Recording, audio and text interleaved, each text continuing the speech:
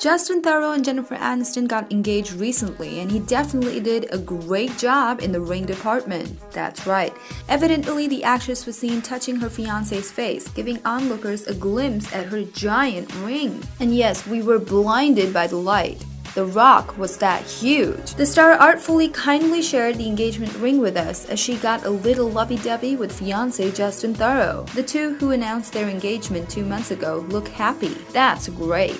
Hit the thumbs up if you like Jennifer Aniston with Justin Theroux, and subscribe to Hollywood Backstage to know more about Jennifer and Justin.